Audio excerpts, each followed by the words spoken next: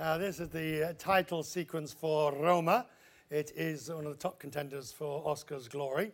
And we are focusing on the companies behind the films. You see the names coming up there. We'll go through it in just a moment. You can recognize them from the title sequence. Now, step into a theatre, our theatre, and we'll explain exactly what all this means.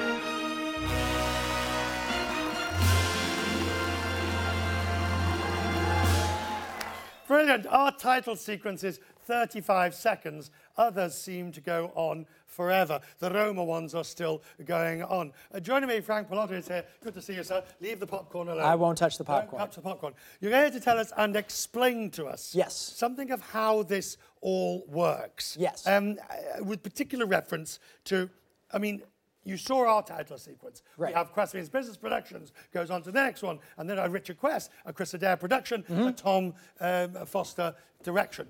Um, but let's actually do a real one. Yes. Start with this one. Who are these people? So this is Netflix. I don't know if you've ever heard of this company. Right. It's kind of a popular media company. Netflix for Roma is the distributor. They are basically the studio. They're the one that gets the movie to the masses. Right. So then the titles run on a bit further. Who are this lot? So Participant uh, Participant Media is a production company. They help fund Roma. The reported funding was about $15 million, which is pretty much the budget of a small film like a Roma. So whose actually studios are they using? Netflix's or these people? Well, it starts off like uh, Alfonso Cuarón, who creates uh, Roma, uh, g- uses a production company like Participant Media to help bring the movie together. Then they try to find a studio that can either release it or, in an independent movies uh, kind of way, uh, you know, distribute it. Right, and then we have uh, the next one, which is Esperanto Film Moj. Yes. Or Moy. So Esperanto is actually a production company owned by Alfonso Cuarón himself. So the director of the movie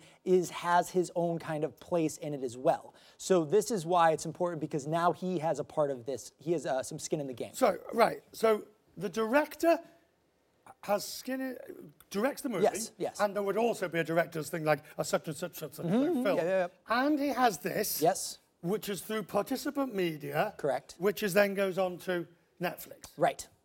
So basically, Cuarón uses his own production company to create this very So personal who's, film. putting, who's making money? Everyone's making money. That's the thing, because they all have certain uh, places to really work inside of this film. So net, let's go back to Netflix. Yes, let's who go back to Netflix. Who have started it. When, and the Oscar goes to Roma, if that is the case. Yes. Netflix come up and collect it. It's not going to be Netflix. It's actually going to be Alfonso Cuarón because he is the not only the director, the cinematographer, but he is the producer. And there are certain union rules as well. This is the same exact kind of thing. If say Black Panther wins on Sunday, it won't be Alan Horn, the film chief of Disney Studios, walking up there to collect the award. It'll be Kevin Feige, the president of Marvel Studios, who's also a part of the uh, Producers Guild of America. Hardest question of the night. Wonderful.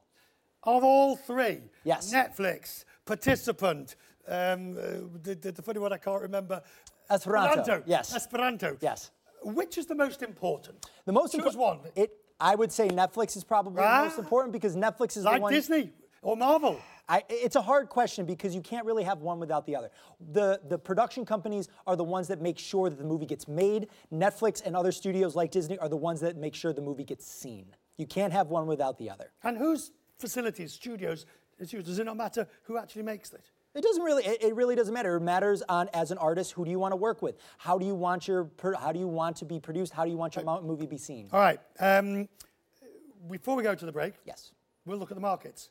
Quick look at the markets uh, to wrap up the stage. Who's going to win the? By the way, who? Oh, look, the market's down 116 points. Tell me who's going to win the best Oscar. I think there's a real chance that Green Book from Universal has a good chance, but Roma is a big and upcoming frontrunner. All right, we'll look at the markets as we come to the close and eat the popcorn. The Dow Jones Industrial is down 106 111 points. Uh, it's triple digit losses, some big results around due after the bell. The Chinese search engine Baidu Nike is leading the Dow lower. Well, don't you even think? I saw you- you saw me looking at it. I saw you looking at it. It's, it's not even- popcorn. It's meant to be eaten. we're not even. It's caramel popcorn. Is that? That's why I really want it. And now we've lost the Dow. On, let me just get one. It's fine. It's fine. People know about the markets. I need my popcorn. It's fine. It's a whole. It's a whole thing.